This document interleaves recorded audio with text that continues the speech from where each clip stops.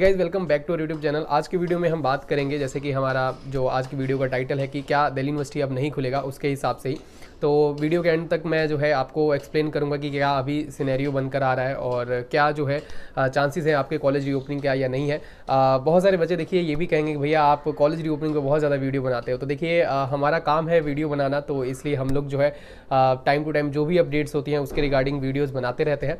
तो चलिए एक एक करके जो है हम सारी जानकारी जो है ले लेते हैं। दोस्तों, वीडियो शुरू करने से पहले मैं आप सभी को आपके एक फ़ायदे की बात बताने वाला हूँ। आप सभी को पता होगा कि चौबीस जनवरी को world education day celebrate celebrate किया जाता है और इंटर्नशाला ट्रेनिंग्स ने इसी को नज़र में रखते हुए आप सभी के लिए एक कैंपेन लॉन्च किया है, वो है करो जिद आगे बढ़ने की।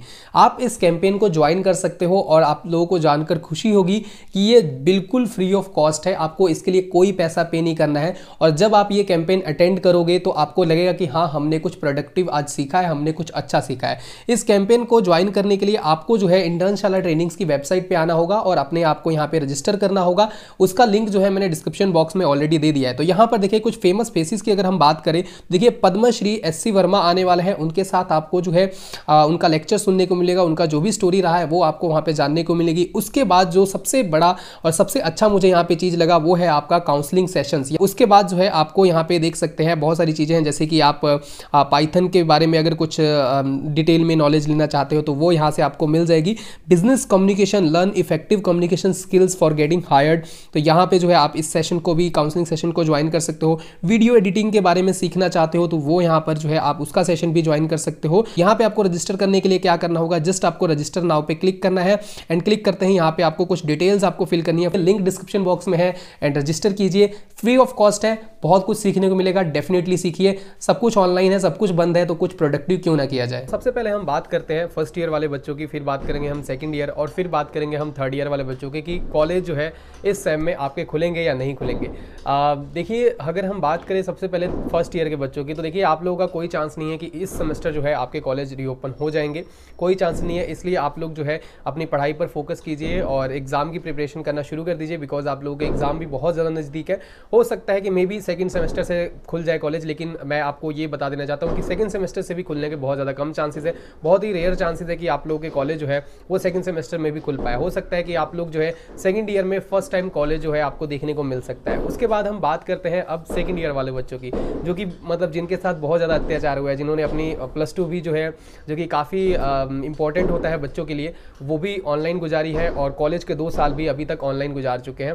तो देखिए, उन बच्चों को भी मैं यहाँ पे कहना चाहता हूँ कि आप लोगों का भी ये सेमेस्टर आप मान कर चलिए कि आपके लिए कॉलेज नहीं खुलने वाला है। दिल्ली यूनिवर्सिटी ने आप सभी के लिए अपने दरवाजे बंद कर रखे हैं और ये दरवाजे जल्द खुलने वाले नहीं हैं। अगर हम ओवरऑल बात करें, देखिए, मार्च 2020 से दिल्ली यूनिवर्सिटी बंद है। ये एक बहुत बड़ा टाइम पीरियड है। बहुत ज़्यादा लॉस हुआ है बच्चों का। लेकिन हमारी गवर्नमेंट और हमारे दिल्ली यूनिवर्सिटी का एडमिनिस्ट्रेशन इस चीज़ को नज़रअंदाज कर रहा है कि किस तरीके से हमारी जो युवा पीढ़ी है वो पीछे जा रही है किस तरीके से बच्चों का जो है नुकसान होते हैं फाइनल ईयर स्टूडेंट्स के जिनके सिर्फ़ चार पाँच महीने कॉलेज के अंदर रह गए हैं और फेयरवेल की उम्मीद थी उन लोगों की ऑफलाइन फेयर मिल मिल जाए।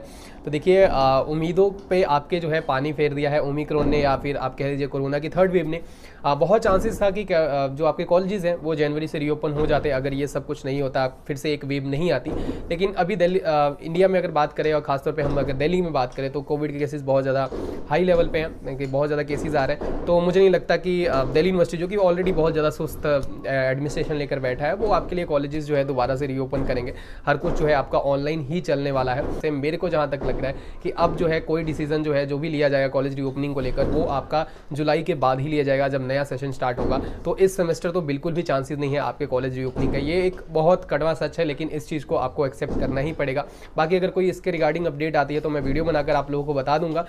देखिए, ये सब चीज़ें मैं इसलिए बोल रहा हूँ ना क्योंकि हम लोगों ने पिछले डेढ़ साल से दिल्ली यूनिवर्सिटी को ऑब्ज़र्व किया है, पिछले दो साल से मैंने दिल्ली यूनिवर्सिटी को ऑब्ज़र्व किया है कि उस, वो किस तरह वर्क करते हैं। एक डिसीज़न लेने में वो तीन, चार चार, पाँच पाँच महीने लगा देते हैं। जब टाइम था कॉलेज को रीओपन करने का, जुलाई, अगस्त का महीना बहुत अच्छा था जब कॉलेज को रीओपन किया जा सकता है और एक पूरा सेमेस्टर जो है वो बच्चों को ऑफलाइन पढ़ाया जा सकता था। उस टाइम दिल्ली यूनिवर्सिटी ने अपने दरवाजे बंद रखे और फिर बोलने हैं कि हम जनवरी से खोलेंगे। तो फिर जब जनवरी में खोलने की बात आई, तब तक वेव आ गई। तो हम लोग दिल्ली यूनिवर्सिटी का जो एडमिनिस्ट्रेशन है, वो कहीं ना कहीं एक वेव का वेट करता है कि जब नॉर्मल रहती है सिचुएशन तब हम कॉलेज बंद कर दे। और जब जैसे वेव आने वाली बात है तो हम बात चल, चालू कर दे कि हाँ हम खोलने वाले खोलने वाले जब वेव आ जाती है तो फिर बोलते हैं, अब तो वेव आ गई, अब खोलने का कोई मकसद ही बनता। तो इस तरीके की चीज़ें जो है, वो दिल्ली यूनिवर्सिटी के अंदर होती हैं और होती रहेंगी। बिकॉज़ प्रशासन जब तक जागरूक नहीं होगा, प्रशासन तक, जब तक बच्चों के बारे में नहीं सोचेगा, तब तक ये कॉलेज जो है, वो नहीं खुलने वाला है। तो दोस्तों, आशा करता हूँ इस वीडियो से आप लोगों को काफ़ी इन्फॉर्मेशन मिली है। अगर इन्फॉर्मेशन अच्छी लगी है तो देखिए चैनल को सब्सक्राइब करना ना भूले और इस वीडियो को अपने फ्रेंड में ज़रूर शेयर कीजिएगा। बाकी अगर कोई क्वेरी रहती है तो आप मुझे कमेंट बॉक्स में कमेंट करके बता सकते हैं। आपको क्वेरी का जवाब जो है, आपको टाइम पर मिल जाएगा। तो अभी के लिए इतना ही, मिलते हैं आपको अगली वीडियो में।